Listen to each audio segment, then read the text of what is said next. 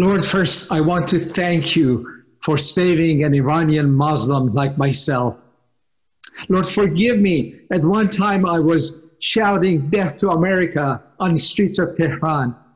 Lord, I repent, and today I say, God bless America as I came to know you here. Lord, thank you for the great awakening happening in Iran. We claim your promise in Jeremiah 49 38 that you will set your throne in Iran. We pray Iran will be the first Islamic nation that turns to you. Lord, I thank you that you love Muslims. You love the whole world. Lord, you have done so much for Muslims. You died for them. You're appearing to them in visions and dreams. Lord, I pray you give us your heart that we might love them as you have loved them. And Lord, enable us to share your good news with them in Jesus' name. Amen.